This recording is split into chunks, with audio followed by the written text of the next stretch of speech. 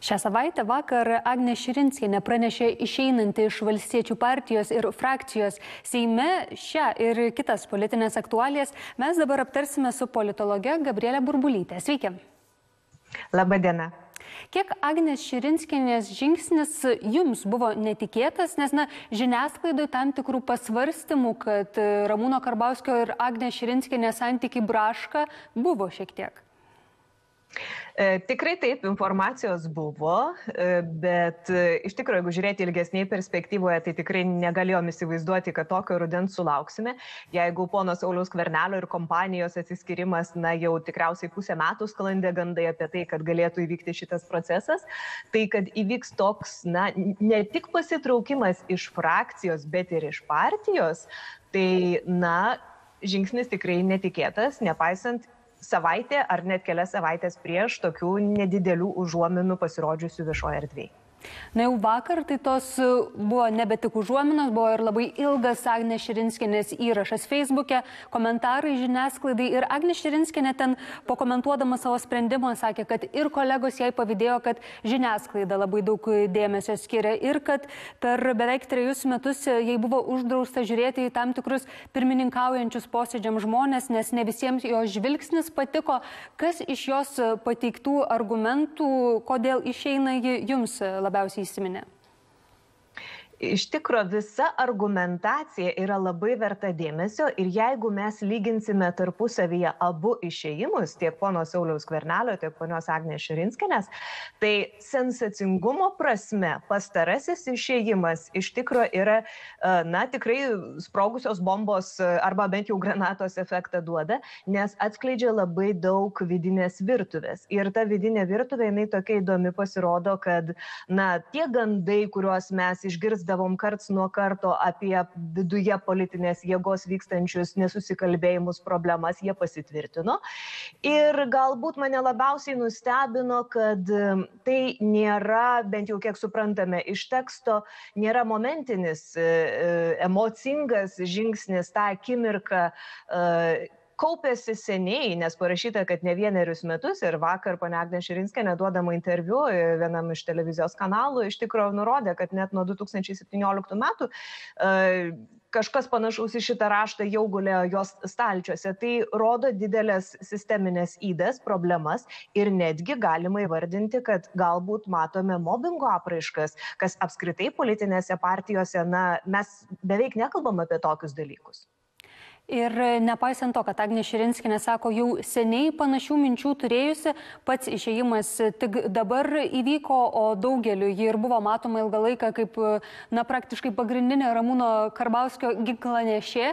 Tai dabar Ramūnas Karbauskis be Agnė Širinskinės, koks jis, koks jo politinis likimas ir ateitis? Iš tikrųjų, pirmiausiai reitingai. E, artimiausiose visuomenės nuomonės apklausose tikriausiai turėtume pamatyti e, kritimą pasitikėjimo e, ponų Ramūnų Karbauskų ir valstiečių ir žaliųjų sąjunga.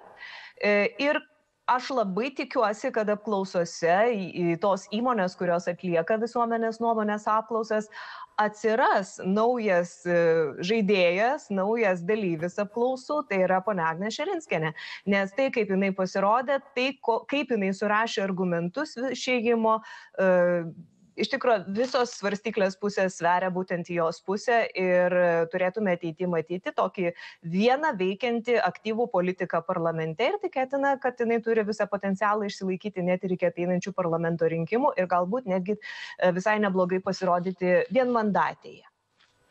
Pone Burbulytė, kita šiek tiek tema, bet iš dalies ir susijusi, nes Agnė Širinskinė tai taip pat mini savo įrašę, e, į Seimą grįžta idėja kelti parlamentarams atlyginimus. E, kaip Jums atrodo, kiek potencialo turi tokie siūlymai surinkti pakankamai palaikymo ir būti įgyvendinti? E, iš tikrųjų šitas klausimas jis yra labai toksai iš, iš kelių, turintis kelias pusės, kaip medalis turintis dvi pusės. Viena vertus galima tikrai sutikti, kad dabartiniai atlyginimai jie yra visiškai nekonkurencingi, ypatingai lyginant su privačiu sektoriumi, bet netgi ir lyginant su viešuoju sektoriumi, o atsakomybė ir darbo krūvis tikrai yra labai dideli. Bet tai, ką mums atskleidžia ir ponios Agnės Širinskienės laiškas visuomeniai, tai, e, na, netrodo, kad visi parlamento nariai vienodai dirba ir aš manau, kad e, šitas laiškas atskleidžia ne tik tai vienos politinės partijos, vienos politinės jėgos vidaus problemas. Manyčiau, kad jeigu gerokai ta, taip, e, pabandytume audituoti darbą visų 141 parlamentaro, tai tikrai rastume labai didelių netitikimų e, ir ne, tikrai ne visi parlamentarai yra tos bitutės darbininkės, kurios tikrai e, dirba nuo iki 24 valandas per parą. Tai klausimas atlyginimas yra labai labai opus ir šią akimirką labai nepalankus. Pone Burbulytė, ar dar trumpai aptarkime Vilmorus naujausių savaitgalį paskelbtus reitingus. Iš esmės pokyčių nedaug. Pirmi ir toliau socialdemokratai, antri konservatoriai, treti valstiečiai, bet apklausoje šitoje dar neįtraukta Sauliaus Skvernelio e, kuriama partija. Kiek ji gali pakeisti apklausų tendencijas, turint omenyje ir praėjusios savaitės pareiškimus merų, kad jie prisijungs prie šios partijos, tarp jų neringos meras?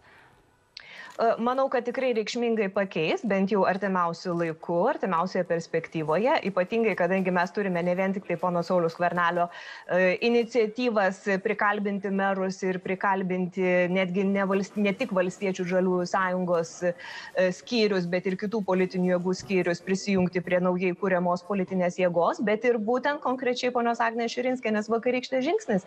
Tai tikrai sudrebinti turėtų reitingus, juos perdislokuoti, bet ilgalaikėje perspektyvoje manau, kad situacija vis tiek nebus tokia labai palanki, labai palanki naujai kuriamai politiniai jėgai.